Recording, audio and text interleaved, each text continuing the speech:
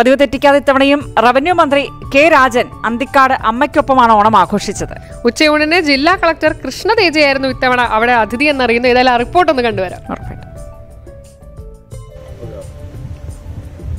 നമസ്കാരം. തിരുവോണ ദിവസം അന്തിക്കാട്ടാണുള്ളത്. അന്തിക്കാട്ട ഈ മനോഹരമായ കുളത്തിന്റെ കരയിൽ നിൽക്കുമ്പോൾ ഒപ്പം റവന്യൂ മന്ത്രിയുണ്ട് ഒപ്പം റവന്യൂ മന്ത്രിയുടെ കളക്ടറും ഉണ്ട് അങ്ങനെയല്ലേ പറയുന്നത്?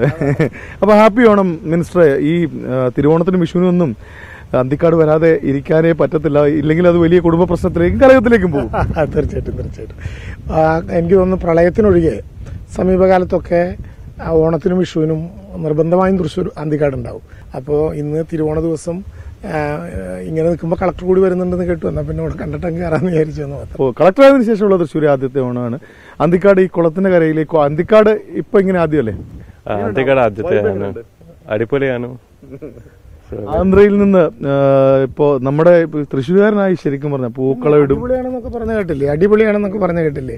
ഭയങ്കരമായുള്ള പൂക്കളാണ് ഇട്ടിട്ടുള്ളത് വീട്ടിൽ.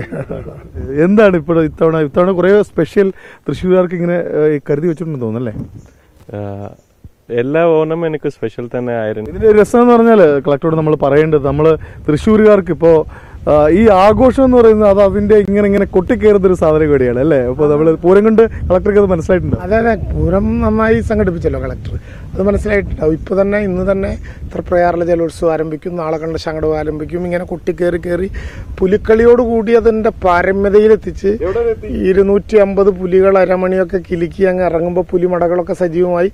വളരെ ഗംഭീരമായിട്ടാണ് ഇത്തവണത്തെ ഓണത്തെ പൊതുവായിട്ട്. എനിക്ക് കളക്ടറോട് അക്കാര്യത്തിൽ തോന്നിയ ഒരു പ്രത്യേകമായ സ്നേഹം. ഇത്തവണ കോവിഡിന് ശേഷം ആ, രക്ഷകർത്താക്കൾ നഷ്ടപ്പെട്ട നൂറ് പാവപ്പെട്ട കുട്ടികളെ പല വിധത്തിലുള്ള സഹായങ്ങൾ കൊടുത്ത് ഓണത്തിന് മാത്രമല്ല തുടർ പഠനത്തിനും കളക്ടർ നേതൃത്വത്തിലുള്ള ഒരു പരിപാടി സജ്ജമാക്കിയ ഒരു ഓണമാണ്. ഇത്ര- ഇത്രയും വിഭവങ്ങൾ വേറെ നിൽക്കുമ്പോഴും ഓണസദ്യയുടെ വിശേഷങ്ങൾ കൂടി പറയണം. എന്തൊക്കെയാണ് അത് നമുക്ക് നോക്കാമല്ലോ ഓണ ഓണ- ഓണ ഉഷാറാകും. നന്നായി നമുക്ക് ആഘോഷിക്കാം.